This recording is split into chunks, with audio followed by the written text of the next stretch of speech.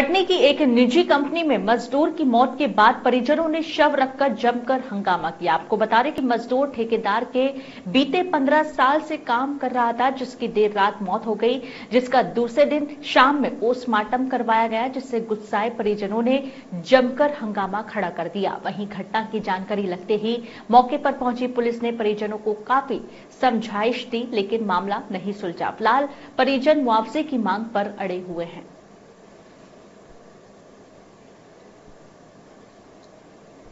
अंदर ही।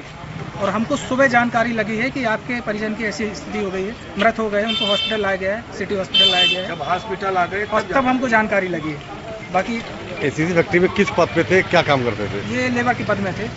कैसे घटना घटी कैसे मृत्यु हुई ये इसकी जानकारी नहीं है लेकिन जो कुछ भी हुआ है फैक्ट्री के अंदर ही हुआ ये अपने को सूचना चौकी द्वारा मिली अस्पताल चौकी द्वारा कि एक आदमी को वहाँ एसीसी से लाकर यहाँ माने मृत अवस्था में जो है लाकर जिसके पी जिसके पीएम के लिए हम लोग आए।